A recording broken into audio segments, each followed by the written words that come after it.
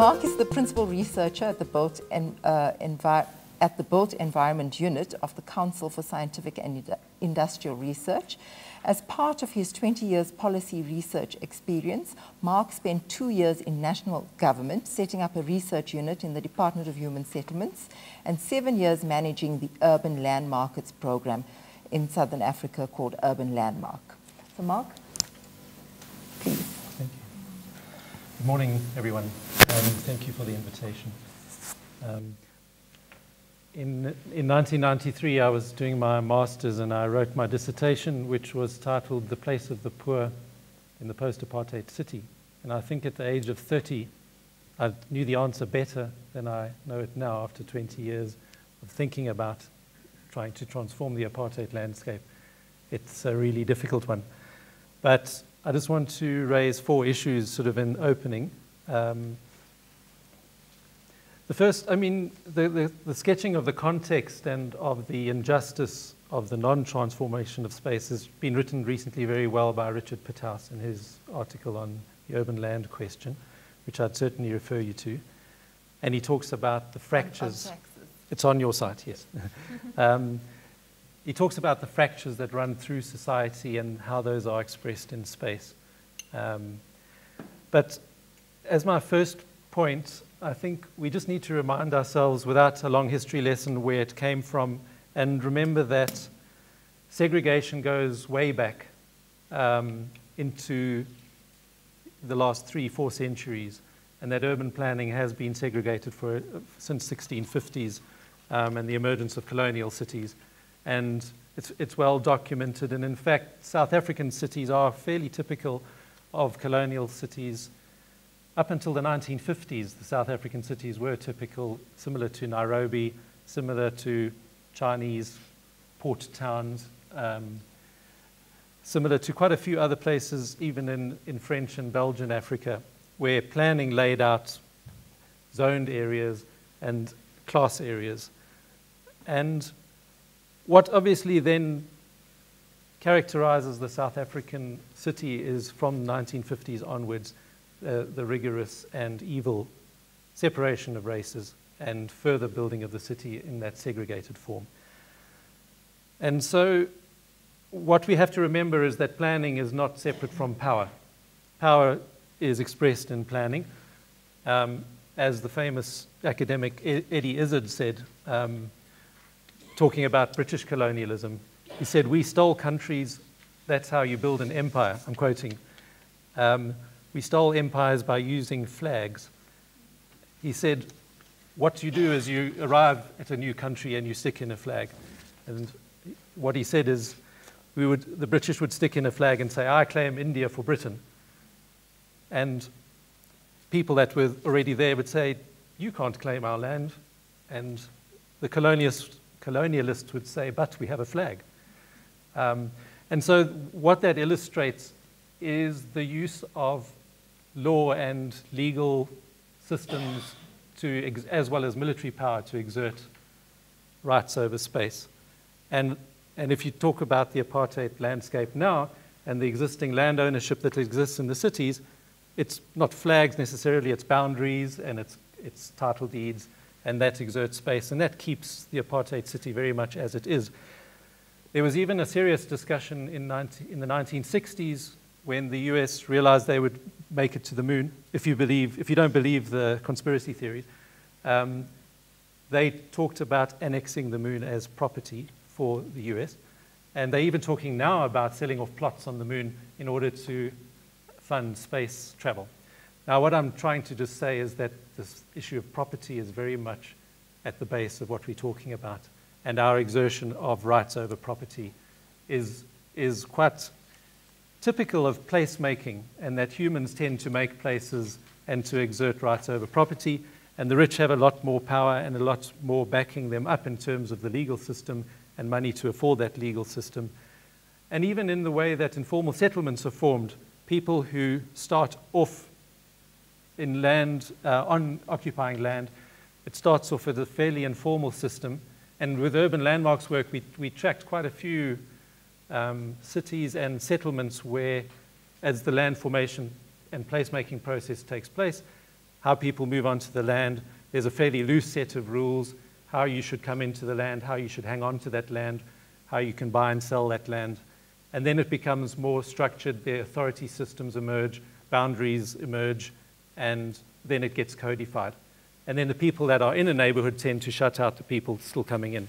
So there's a typical human process of, of land occupation, but it's not disconnected from power and the exertion of power and the use of instruments to do that. And really, then, what that takes us to is a point that you, that you need to really remake the rules of how places are made and how we see property. Um, but what's quite interesting, also from some of the urban land markets work, is that even in places like Luanda and Maputo and Huambo, the, even if the state owns the land and there's not meant to be a market in land, there is. And we've tracked those markets very carefully. So then the second point I'd like to make is what does it look like? We talk about the apartheid city. Um, there's been some very good work done by Catherine Cross quite recently where what she did was they took data of where shack settlements are in South African cities and they took migration into cities over the last 10 years. Migration into cities is about 1.2% per annum, which is, which is not a huge, um, it's, it's similar to Spain, or uh, other countries. And so it's not a huge in migration. It's, it's fairly big in, in number terms. But the cities in South Africa, when you track in migration, um, unemployment, the per capita income, and then where you live in that city, it reveals a picture uh, which, is, which, means, which shows that it's very different in the different South African cities. When people move into cities, they definitely position close to work and, and job opportunities where they can find land. But where jobs are is very different. Um, for instance, in Johannesburg, there's obviously a very intense core with, a, with high incomes and with a lot of job opportunities and other opportunities. And then as you go out of that core, then the rich well until you get to the periphery and then the, the poor on the periphery again. In Cape Town, the middle of town has no poor people. I actually heard Helen Zille in a UN event in Cape Town saying that in Cape Town the poor don't belong in the center of Cape Town. They can't afford it, they shouldn't be there. And if you look at the structure of Cape Town, that's dead right. Uh, it's not morally right, it's factually correct that there's not a place for the poor in the middle of Cape Town. And that the type of skills and land availability, land availability there is almost impossible. And so, what, what do we do about that?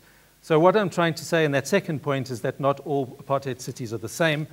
So, putting people or, or setting up opportunities close to the center doesn't automatically work. You've got, to, you've got to understand the structure of each city.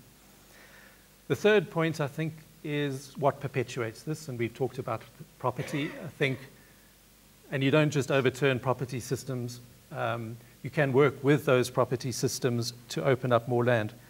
Certainly, the historical dispossession was the, was the grounding of it, and cities don't change very quickly.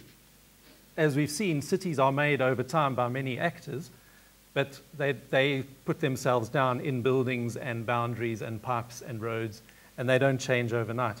What does change is how people can filter through cities, filter through housing stock, filter through buildings, filter through business opportunities. So people move through cities, but cities are pretty much there. And how cities are owned is therefore very important. Um, and so an equal city is not like an equilibrium where if things come right, the South African city will become equal just because the pendulum will swing back to some kind of equality. Because cities are built and are over centuries, they're quite difficult to change, incredibly difficult to change. And so that swing of the pendulum back to some form of equality and equal access for the poor needs direct intervention. Um, so I think the fourth point is what can we do? And look, I'm quite, I'm actually quite optimistic. Um, the first point to make, and I did try to get some more accurate figures, is that state land is in the country is about 22 percent. 78% is, is privately owned. Now that's fine if, and that's the 122 million hectares in the country, but only, you know, 1.5% of that is built upon. So to have a, to have a percentage of 22%, 78% is not much use if we're only talking about the 1.5% that is built up, which is the city. So we need more accurate information about cities and who owns what.